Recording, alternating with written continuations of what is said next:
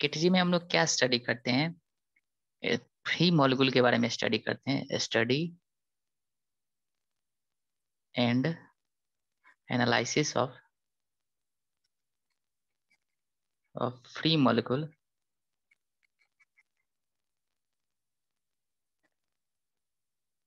free molecules in random motion, in random motion.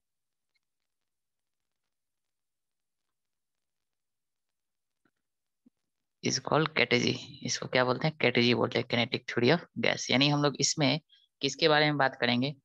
Pressure के बारे में बात करेंगे वॉल्यूम के बारे में बात करेंगे टेम्परेचर के बारे में बात करेंगे मोमेंटम के बारे में बात करेंगे। ठीक एनर्जी के बारे में बात करेंगे, इन सब चीज़ों के बारे में बात करेंगे। ठीक तो हम लोग जब कैटेजी पढ़ते हैं तो कुछ एजॉप्शन मानते हैं। ठीक है बिहेवियर गैस मॉलिक्यूल के बारे में कुछ हम लोग एजॉप्शन मानते हैं। हम लोग को ये पता है कि P V equal to N R T ये आइडियल गैस इक्वेशन है, ठीक है? This is the ideal gas equation ठीक? तो हम लोग कैटेजी पढ़ने के लिए कुछ हम लोग एजप्शन मानते हैं, ठीक है? और यह एजप्शन जो भी हम लोग एजप्शन मानते हैं फॉर आइडियल गैस के लिए तो सबसे पहले लिखेंगे हम लोग, कुछ पॉइंट लिखवाते हैं। प्योर थ्योरेटिकल टॉपिक है, ठीक? क्वेश्चन भी करेंगे हम लोग बट इसमें थ्योरी इसका बहुत इंपॉर्टेंट है, ठीक है? एजप्शन एजप्शन फ़र्स्ट एजप्शन क्या है? कि पहला एजप्शन हम यह मानते हैं कि तो जो मॉलिक्यूल्स होता है, उसका साइज़ जो होता है नेग्जिलेबल होता है, यानी size of molecule size of gas molecule. Is negligible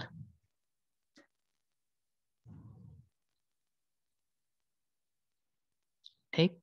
यानी साइज़ नेग्जिलेबल होने की वजह से तो जो वॉल्यूम ऑफ़ गैस होगा, वह वॉल्यूम ऑफ़ कंटेनर होगा। सपोज़ कर लो कि कि ये कंटेनर है, ठीक है? इसमें गैस मॉलिक्यूल है, ढेर सारा गैस मॉलिक्यूल है, इसमें भरा हुआ है गैस ठीक?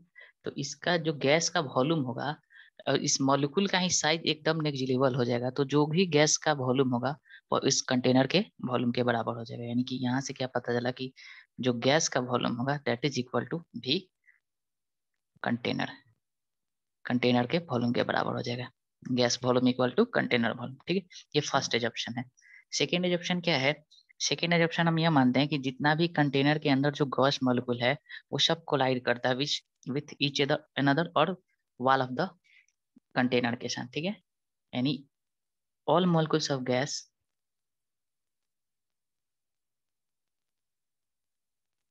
gas collide with each other.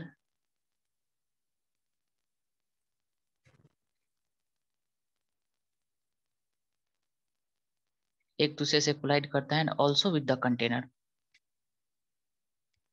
and also with with wall of wall of wall of container ठीक है?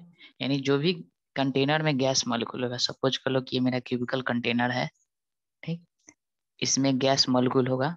तो ये सारा गैस मॉलिक्यूल जो होता है, एक दूसरे से कोलिजन करते रहता है, ठीक? और वो वाल से भी कंटेनर के वाल से भी कोलाइड करता है, ठीक?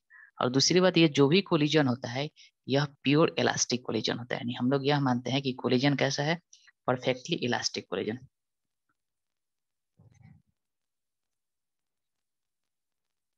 elastic collision perfectly elastic collision कहने का मतलब क्या होगा? ई इक्वल टू वन हो गया। यानी नो लॉस नो लॉस कोई लॉस नहीं नो लॉस ठीक है? कोई लॉसेस नहीं होता है, ठीक? और क्या बोलते हैं? और क्या होता है कि जब ये कोलाइड करेगा, ठीक है? तो ये वाल पे प्रेशर एग्जर्ट करता है, ठीक है? It exert pressure on the wall of container ठीक? It exert pressure on the wall of container container के वाल पे क्या करता है? प्रेशर एग्जर्ट करता है, ठीक है? और जो भी हम बोलते हैं कि ये कोलाइड कर रहा है तो एक दूसरे से कोलाइड किया तो कोलिजन का जो टाइम होता है, ये जो एक गैस मॉलिक्यूल है, दूसरा गैस मॉलिक्यूल इन दोनों के बीच के कोलिजन का टाइम जो होता है यह नेग्जिलेबल होता है? एकदम बहुत कम होता है, ठीक है? इसका मतलब कि जो टाइम अगर कम हो गया और मोमेंटम है ठीक है? प्रेशर एग्जर्ट कर रहा है यानी फोर्स एग्जर्ट कर रहा है तो यानी टाइम कम हो गया। कम समय के लिए फोर्स लगता है, उसको कौन सा फोर्स बोलते हैं? इम्पल्सिव फोर्स तो हम क्या बोल सकते हैं कि जो कोलिजन हो रहा है, वह किस नेचर का है? इम्पल्सिव नेचर का है। यानी collision is impulsive collision is impulsive impulsive कहने का मतलब क्या हुआ कि बहुत कम समय के लिए लगता है।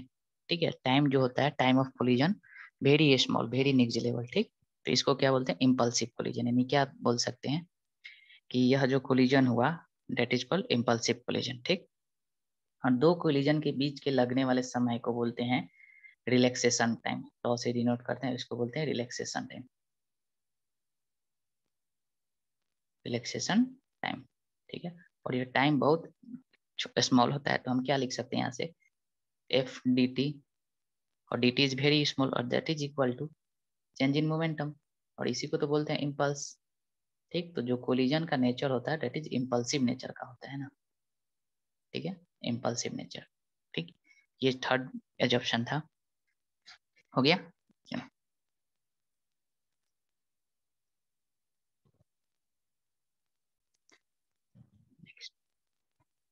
थर्ड एज ऑप्शन क्या है?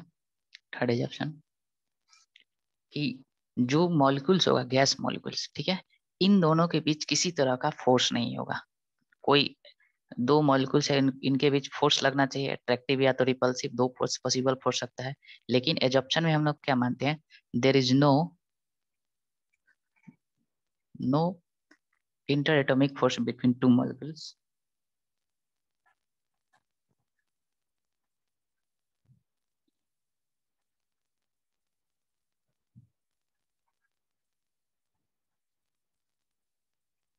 molecules and also and between wall with molecules between wall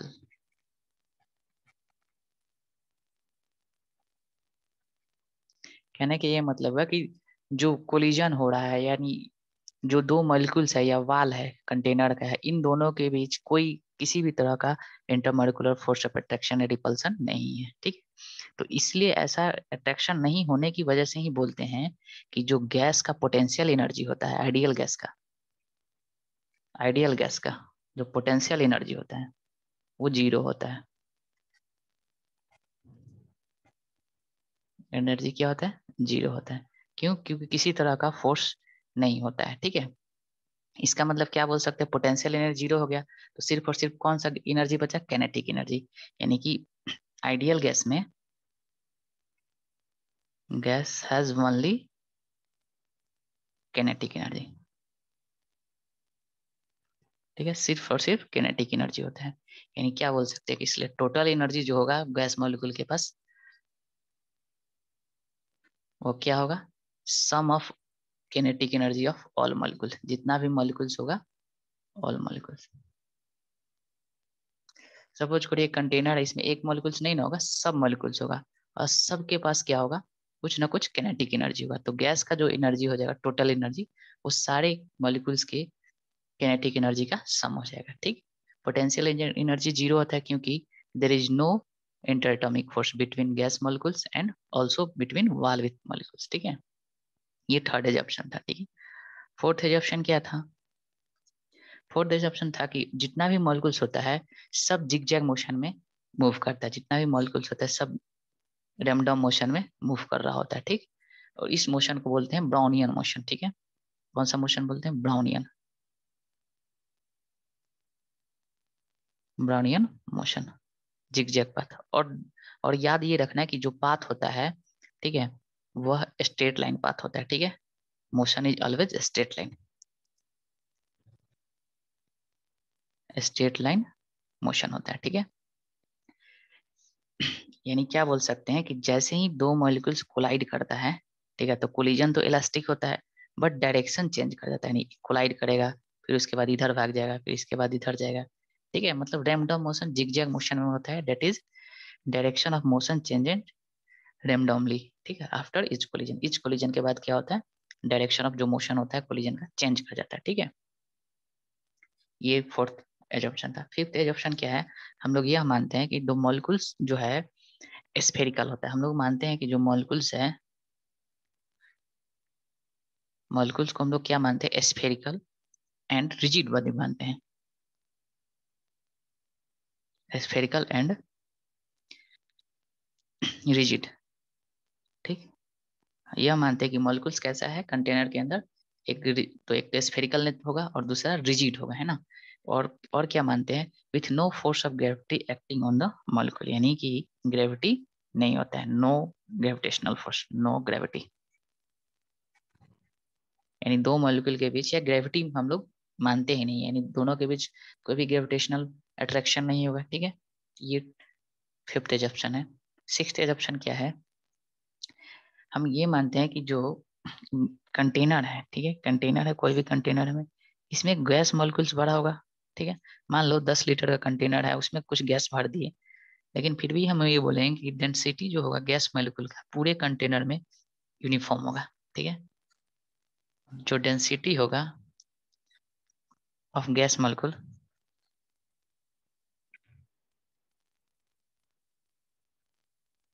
is uniform everywhere from everywhere ठीक है? गैस मॉलिक्यूल का डेंसिटी क्या होता है? सब जगह यूनिफॉर्म होता है, हम लोग ये मानते हैं, ठीक है? इसमें सबसे इंपॉर्टेंट ये है कि जो भी गैस मॉलिक्यूल्स होता है, उनके बीच कोई इंटरमोलिकुलर फोर्स नहीं होता है नहीं वाल के बीच होता है, इसलिए पोटेंशियल एनर्जी ज़ीरो होता है, ठीक? इसका मतलब सिर्फ़ और सिर्फ़ कैनेटिक एनर्जी हुआ, ठीक है? और ब्राउनियन मोशन करता है, और जो मॉलिक्यूल्स होता है, वो स्फेरिकल होता है रिजिड होता है, यानी ग्रेविटी नहीं होता है ये सब हम लोग एजप्शन मानते है, ठीक है? हो गया। और ये लास्ट एजप्शन जो है मेरा सेवेंथ एजप्शन जितना भी गैस है, ठीक है वो आइडियल गैस जितना भी है आइडियल गैस वो सारे इस इक्वेशन को P V equal to NRT को फॉलो करता है। ठीक है, इसका हम लोग प्रूफ देखेंगे कि कैसे हुआ, ठीक। यानी this equation is valid for ideal gas ठीक है। ये सारा एजप्शन को हम लोग मानते हुए पूरा हम लोग कैटेजी को पढ़ते हैं, ठीक है।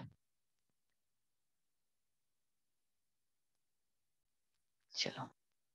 नेक्स्ट अब देखते हैं कि जो pressure on container wall due to gas molecules ठीक है? कि गैस मॉलिक्यूल कंटेनर के वाल पे कितना प्रेशर लगाता है? Pressure on container wall due to gas molecule gas molecule की वजह से कि वाल पे कितना प्रेशर लगता है, ठीक है? चलो, इसको देखते हैं। सपोज़ कर लो, एक कंटेनर बनाते हैं, क्यूबिकल कंटेनर, ठीक है?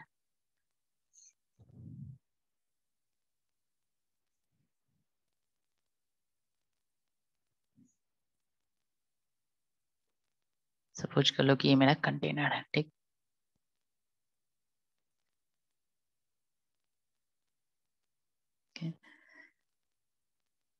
Net is x coordinate x axis ये वाई एक्सिस और ये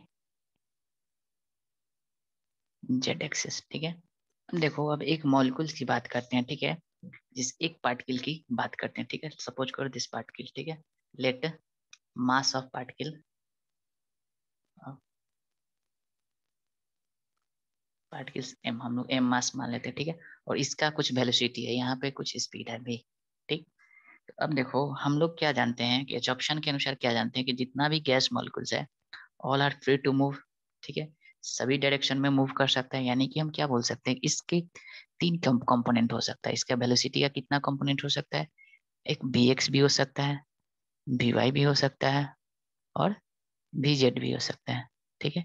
यानी भी वेक्टर को हम लिखना चाहें तो क्या लिखेंगे? V x i cap plus v y j cap plus v z k cap ऐसा इसलिए क्योंकि हम लोग एजप्शन पढ़ चुके हैं कि जो भी मॉलिक्यूल्स होता है these are free to move in random direction ठीक है?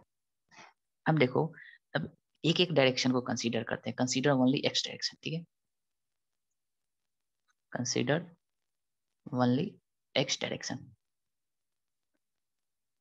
ठीक है? अब मास है और वेलोसिटी है तो इसके पास कुछ मोमेंटम होगा, है ना? यानी यानी ये जो पार्टिकल है, कुछ मोमेंटम कैरी कर रहा है। और मोमेंटम कैसा क्वांटिटी और वेक्टर क्वांटिटी तो हम लोग एक एक डायरेक्शन को कंसीडर करते हैं, ठीक है? अब सपोज़ कर लो कि एक्स वाला ये वाल है, ठीक है? दिस इज़ द वाल ये वाल हो गया। और ये जो मॉलिक्यूल्स है भी एक्स से आ रहा है इसके तरफ़, ठीक? और इसका मास कितना है? एम ठीक? और जो भी कोलिजन होगा, हम लोग क्या जानते हैं? कोलिजन इलास्टिक होगा। यानी टकराने के बाद फिर कितना से रिटर्न करेगा? वी एक्स से। ठीक है? यानी कि चेंज इन मोमेंटम अगर हम कैलकुलेट करें, देखो इंसिडेंट मोमेंटम कितना होगा एम इंटू वी एक्स यानी कि इस डायरेक्शन में मोमेंटम कितना आया? M v x this is initial momentum final momentum इधर हो गया पी फाइनल और कितना हो गया? एम वी एक्स तो अगर हम लोग डेल्टा पी कैलकुलेट करें चेंज इन मोमेंटम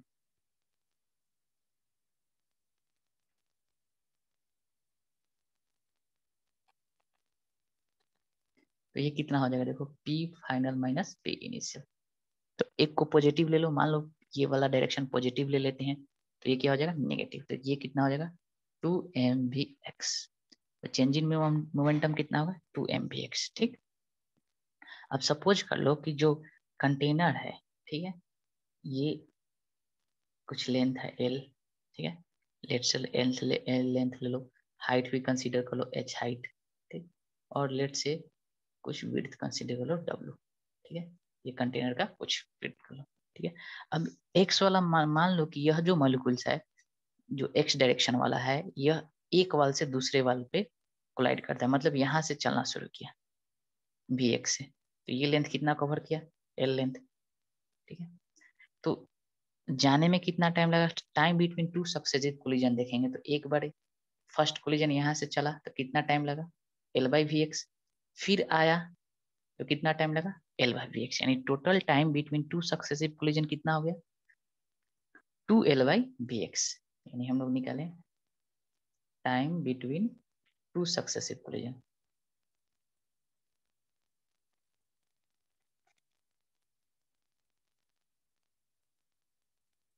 t कितना लग गया?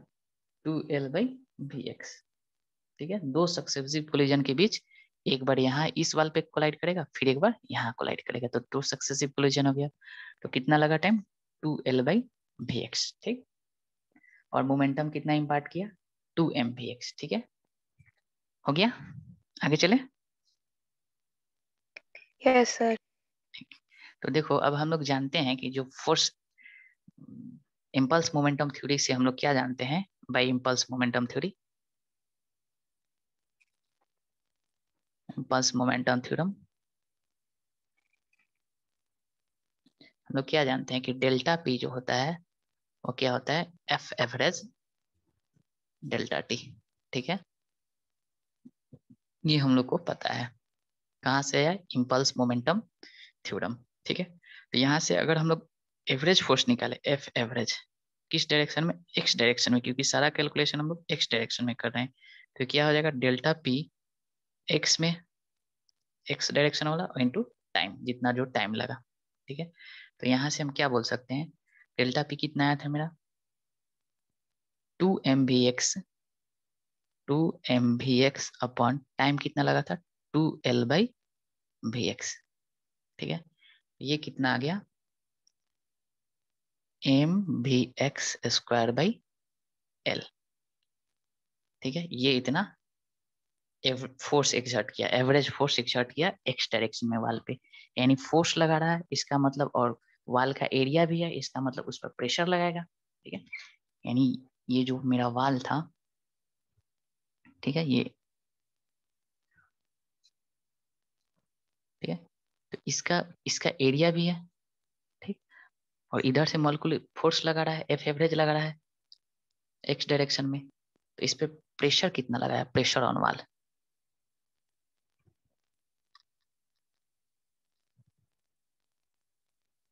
वो कितना लगाया तो क्या बोले लिखेंगे? Average press force upon area average force कितना हो जाएगा? M v x square upon l और एरिया कितना हो जाएगा? देखो वाल का एरिया देखेंगे तो ये क्या है? H into W x direction में ही हो जाएगा। इसी वाल पे फोर्स लगाएगा। ठीक? तो H into W H into W तो ये क्या आ गया? एम भी x square L H W और this is what this is the volume of container यानी यहाँ से क्या आएगा? एम भी x square by capital V ठीक है? और कैपिटल भी क्या है? वॉल्यूम वॉल्यूम ऑफ़ कंटेनर ठीक है? ये हो गया, ठीक है? यानी इतना प्रेशर एग्जर्ट किया, ठीक है? ये एक्स डायरेक्शन में, ठीक है? यानी पी का वैल्यू क्या गया? M v x square by volume ठीक? सिमिलरली सिमिलरली हम क्या लिख सकते हैं? पी वाई लिखेंगे average pressure on y direction में, यानी वाई के लॉन्ग तो ये क्या हो जाएगा? M v y square upon volume p z बराबर क्या लिख देंगे? M v z square upon volume ठीक? तो टोटल प्रेशर कितना होगा? टोटल प्रेशर पी टोटल हम लोग क्या करेंगे? एवरेज प्रेशर लेंगे। जो भी लेंगे हम लोग पी टोटल मतलब एवरेज की बात करेंगे। और ये क्या होगा? P x plus p y plus p z by three average pressure ठीक है? जो भी हम लोग प्रेशर कैलकुलेट करेंगे डेट इज़ एवरेज प्रेशर ठीक? हो गया?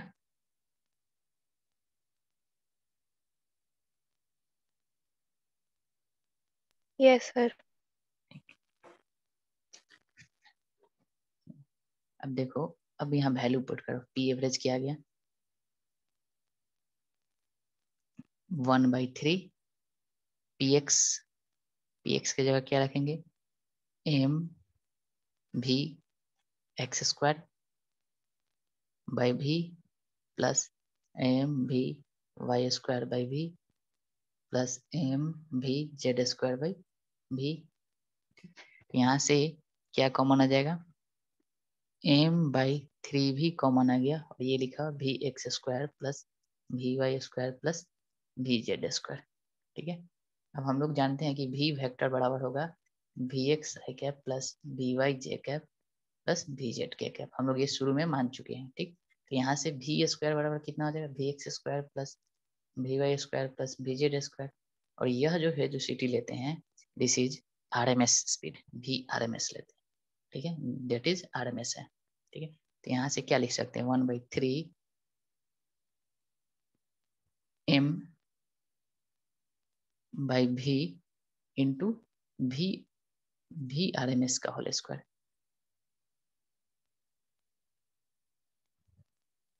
v r m s का होल स्क्वायर ये हो गया पी एवरेज ठीक है ये पी एवरेज किया गया।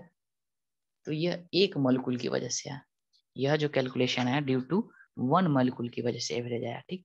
अब सपोज़ कर लो कंटेनर में एक molecule n number of molecules होगा, ठीक है? यह किसकी वजह से है? Due to to one molecule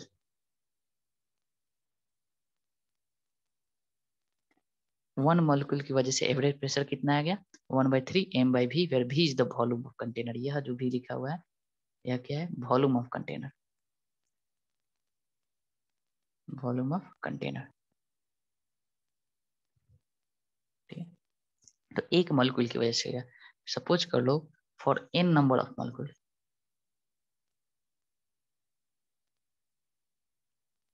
तो टोटल मास कितना हो जाएगा?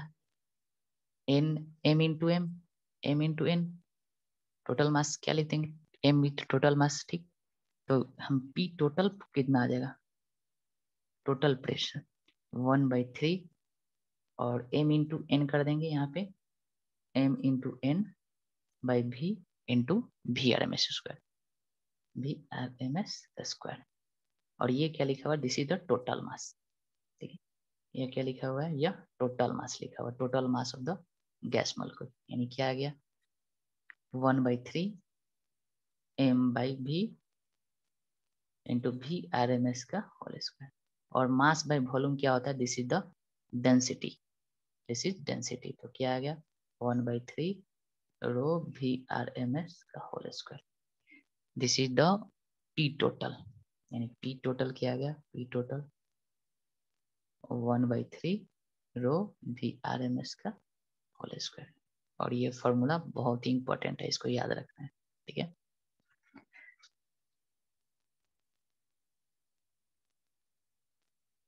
हो गया? ये टोटल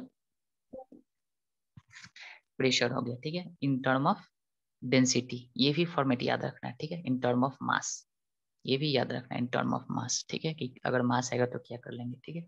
हम लोग आगे देखेंगे कि जो भी आर एम एस जो होता है, ठीक है? यानी जो टेम्परेचर होता है टेम्परेचर जो होता है directly the function of v r m s ठीक है इसका फ़ंक्शन होता है यानी वी आर एम एस और टेम्परेचर एक दूसरे से लिंक होता है। तो फिर हम लोग इसको टेम्परेचर के टर्म में भी हम लोग तोड़ेंगे ठीक है? तो एक फार्मूला आया कि जो टोटल प्रेशर जो होता है एन नंबर ऑफ़ मॉलिक्यूल के द्वारा कितना लगता है? One by three rho v r m s का होल स्क्वायर ठीक है? आर एम एस स्पीड लेते हैं ठीक? हो गया?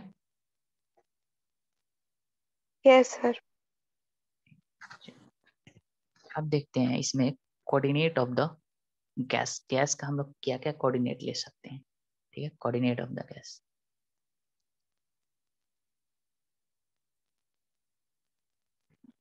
gas, ठीक है, गैस का क्या क्या कोऑर्डिनेट ले सकते हैं? ठीक है, देखो, गैस का कोऑर्डिनेट होता है, हम लोग जानते हैं ideal gas equation p v equal to n r t ठीक है? देखो एन कांस्टेंट होता है और आर भी गैस कांस्टेंट होता है, यानी पी ले सकते हैं भी ले सकते हैं और टेम्परेचर ले सकते हैं, यानी क्या क्या कोऑर्डिनेट बन सकता है? P v t this is और सपोज़ कर लो कि ये मेरा इनिशियल कोऑर्डिनेट है, ठीक है? इनिशियल स्टेट इनिशियल स्टेट ठीक? और यहाँ से किसी दूसरे स्टेट पे चला गया p two v two t two temperature that is और फाइनल स्टेट ठीक? यानी तीन कोऑर्डिनेट हो सकता है प्रेशर वॉल्यूम और टेम्परेचर ठीक है? और इस कोऑर्डिनेट के बेसिस पे हम लोग तीन प्रोसेस को डिफाइन किया गया, ठीक है? On basis of this coordinate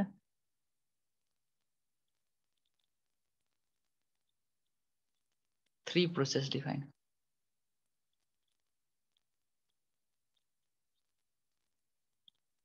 ठीक है थ्री प्रोसेस डिफाइन किया गया है, ठीक है? पहला फ़र्स्ट प्रोसेस में मान लो कोई P1 V1 किसी एक को कांस्टेंट लेते हैं, ठीक है? मान लो हम टेम्परेचर को कॉन्स्टेंट लिए और यहाँ से फिर P2 V2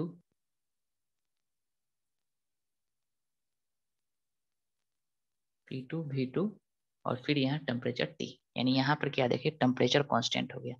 यहाँ क्या है? टी कांस्टेंट रखें। तो इस प्रोसेस को बोलते हैं आइसोथर्मल प्रोसेस ठीक है? आइसोथर्मल ठीक है? सेकेंड मान लो, प्रेशर को कांस्टेंट रखते हैं। वी वन टी वन ठीक है? यहाँ से हम लोग फिर pressure p v two t two ठीक? तो यहाँ पर प्रेशर कांस्टेंट हो गया, ठीक है? तो इस प्रोसेस को बोलते हैं आइसोबारिक प्रोसेस आइसोबारिक पी क्या है? Constant that is called isobaric. Third process क्या है? वॉल्यूम को एक बार कांस्टेंट रख लेते हैं पी वन भी को कांस्टेंट रख लेते हैं पी टू टी टू तो यहाँ पे क्या है? भी कांस्टेंट तो इस प्रोसेस को बोलते हैं हम लोग आइसोकोरिक आइसोकोरिक प्रोसेस ठीक है? ये तीन तरह का प्रोसेस है ठीक है? हो गया? यस सर ठीक। चलो अगर बीच में अगर डिस्कनेक्ट हो जाए तो सब कोई फिर से रिज्वाइन कर लेना ठीक है?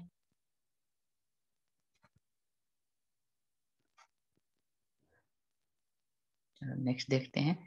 स्पीड जितना भी अब हम लोग को इम्पोर्टेंट क्या है कि गैस मॉलिक्यूल में कितने तरह का स्पीड होता है ठीक है? Various speed in gas molecules ठीक? कितने तरह का गैस में स्पीड पाया जाता है? जैसे एवरेज स्पीड हो गया आर एम एस स्पीड हो गया मोस्ट प्रोबेबल स्पीड हो गया, ठीक है? तो इन सब के बारे में देखते हैं speed of gas molecule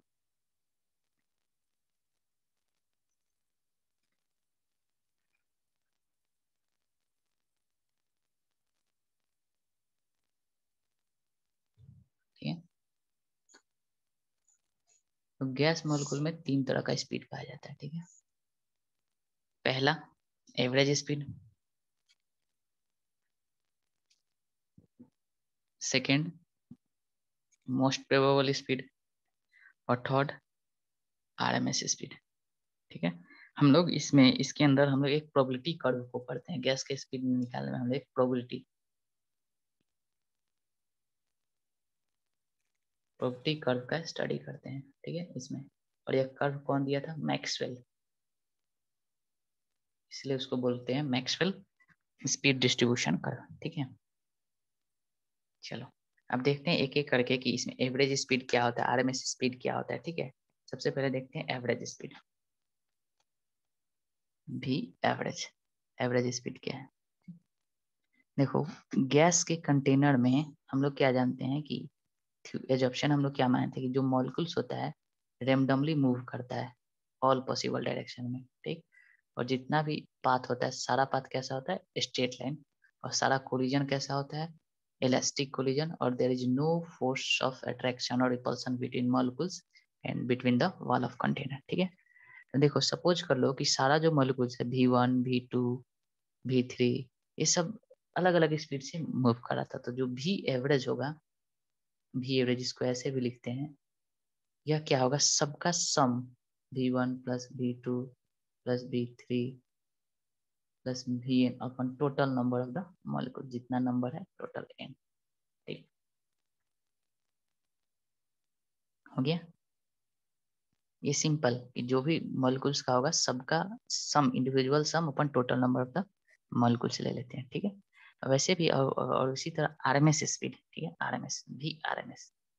R m s मतलब रूट मीन स्क्वायर तो हम क्या करते हैं? सबसे पहले स्क्वायर करते हैं उसके बाद मीन निकालते हैं तब उसका रूट ले लेते हैं। यानी जो भी आर एम एस होगा v r m s that is पहले स्क्वायर करेंगे उसके बाद एवरेज निकालेंगे तब रूट रूट ले लेंगे ठीक है? सिंपल तो ये क्या बन जाएगा देखो।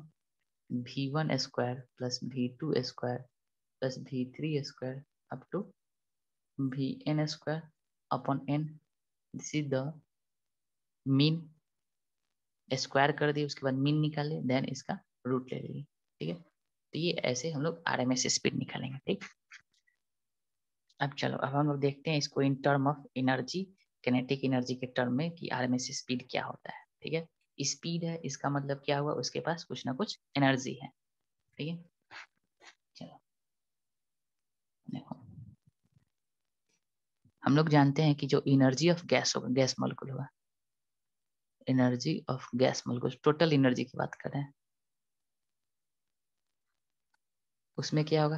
के प्लस पी पोटेंशियल एनर्जी भी होगा बट हम लोग जानते हैं कि पोटेंशियल एनर्जी ज़ीरो होगा, क्योंकि किसी भी तरह का फोर्स नहीं है तो सिर्फ़ और सिर्फ़ क्या होगा? कैनेटिक एनर्जी होगा। तो इसको क्या लिख सकते हैं? One by two M V one square one by two M V two square ठीक है?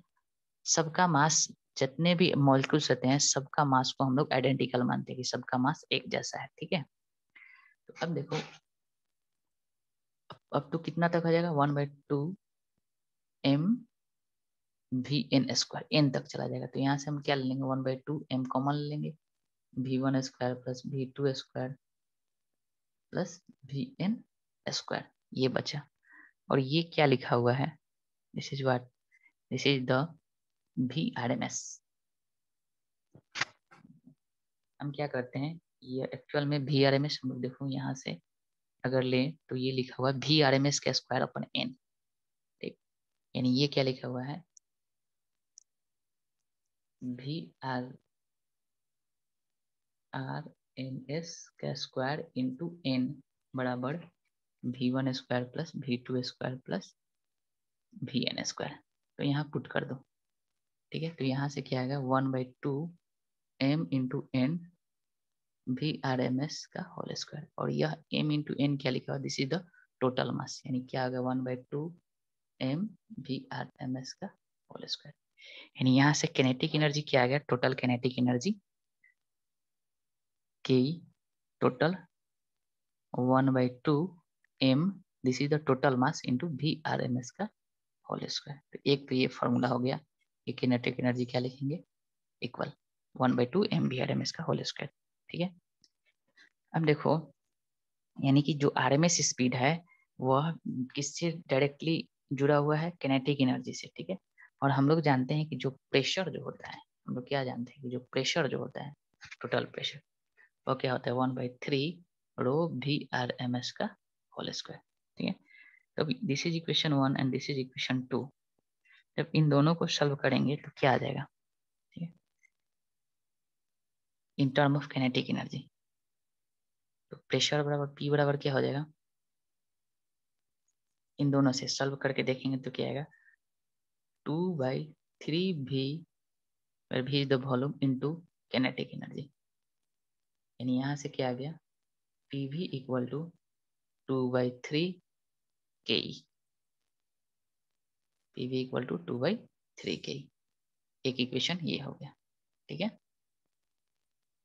यानी के इक्वल टू क्या लिख सकते हैं? That is K equal to three by two P into V where V is the volume not speed यहाँ पर जो भी ले रख, ले रखे हैं दिस इज़ वॉल्यूम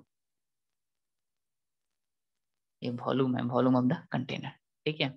और हम लोग और जानते हैं कि जो from ideal gas equation P V equal to N R T हम लोग क्या पता है कि आइडियल गैस से P V equal to N R T यानी पी वी के जगह क्या रख सकते हैं? एन आर टी यहाँ पर एन आर टी रख सकते हैं। तो किनेटिक एनर्जी क्या आ गया?